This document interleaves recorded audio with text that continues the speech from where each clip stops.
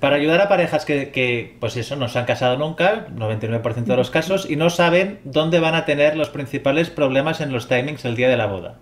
Claro, desde nuestro punto de vista vemos que hay problemas muchas veces en casa de la novia, porque maquillaje a lo mejor a veces se puede retrasar o con el tema de fotos eh, se pueden despistar y ese es un tema para que alguien le dé un toque y decir, oye, ojo, porque tienes a el novio esperando, un montón de invitados, ese es un tema, por ejemplo.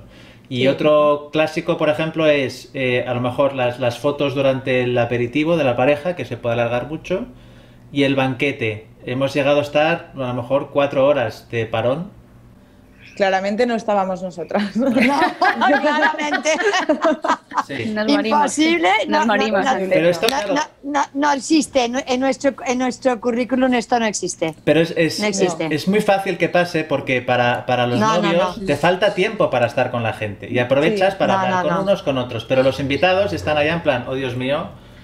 Entonces, sí, esto, no, esto no puede ocurrir, Guille. no puede ocurrir. Nos gusta mucho hacer timings que sean o sea, que no vayan los novios agobiados, pero que sean o sea, realistas, pero lo justo.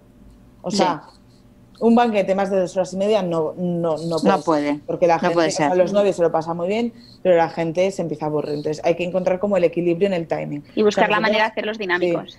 Lo que decías, por ejemplo, en casa de, de, los novios, o sea, el día antes siempre pasábamos el timing de antes de la ceremonia. Claro, novio, novia. Hasta ahora, desayunar hasta ahora, maquillarte hasta ahora. Entonces, saben perfectamente cuándo va bien el tiempo y cuándo no.